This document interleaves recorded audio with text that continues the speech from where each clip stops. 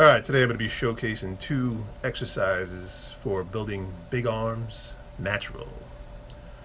And I'm also going to be talking about the importance of getting stronger at these exercises for building big arms and how strong you should be for your bone frame.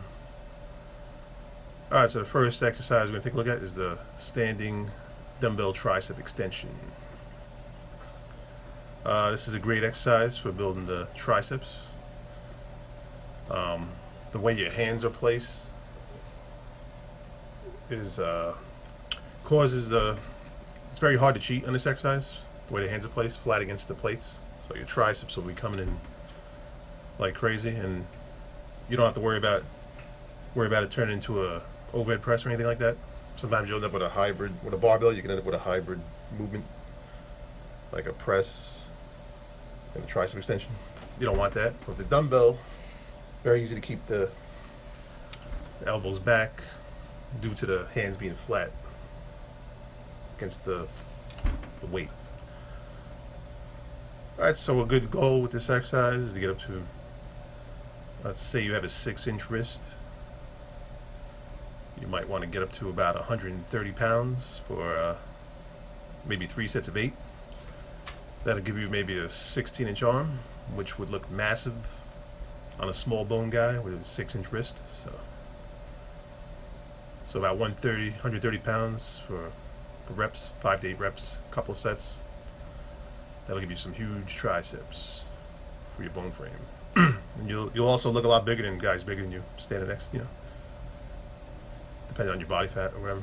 And, uh, so for a guy with maybe 7 inch wrist, I'd say about 140 pounds on this exercise for same thing, three sets of 5 to 8 reps. That'll, uh, that'll automatically yield huge triceps due to the strength within them. And a guy with 8 inch wrists should go for probably 150 pounds on this exercise. The same reps, 5 to 8 reps. That'll give you maybe like 18 inch arms. And uh, that's uh, that's basically it. All right, so the next exercise I'm gonna look at is the, the incline dumbbell curl. So uh, I'm gonna go. I'm gonna get into the same thing. I'm gonna say you do. Say you have a six-inch wrist. You, you want to work up to getting 65 pound dumbbells for three sets of five or whatever. You know, if you have seven inch wrists, you want to get up to 75 pound dumbbells for reps, three sets of five or something like that.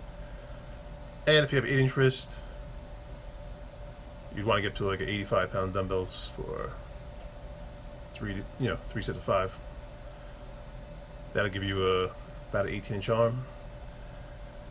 And yeah, so the guy with a 6 inch wrist, if he has 16 inch arms, look massive. If he has a 16 inch arm. A guy with a 7 inch wrist, with 17 inch arms, same thing, look massive. 8 inch wrist, 18 inch arms, they all look about the same. And uh, so uh, yeah, a lot of lot of uh, you know a lot of uh, programs that just say, oh, do three sets of this, three sets of that. They don't tell you how to get stronger. It's, uh, especially at at dumbbell curls. So a smart approach would be to, you know, cycle your reps, you know, spend some time doing, you know, start maybe like three sets of 15 on your incline curls, stick with that. Try to add weight, you know, maybe get some fractional plates, one pound plates. That'd be a smart way to do it. And, uh, you know, try to get stronger in the 15 rep range for a couple weeks. And spend another couple weeks trying to get strong in the 10 to 12 rep range. Then uh, 8 to 10 rep range, try to get strong. And then uh,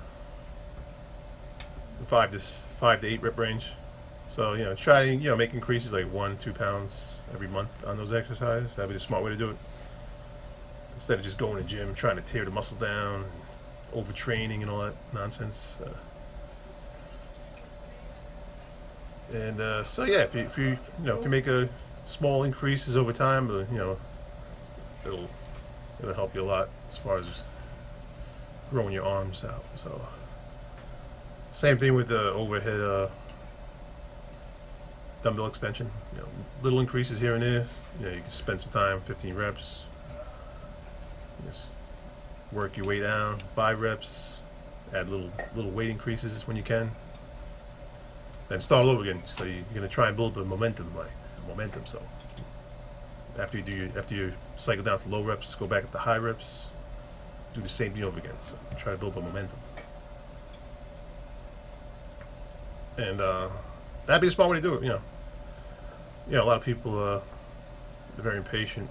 You know, they want to make fast uh, gains, but that's not going to happen. You gotta you gotta spend at least a couple years working at that, trying to get stronger at those. And I'm not saying that those are these are the only exercises you should do. You know, you should do kind wrist curls and forearm work.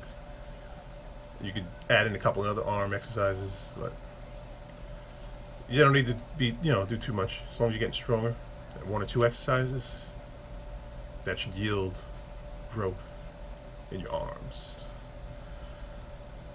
All right, so that's it. I'm out of here. Talk to you later.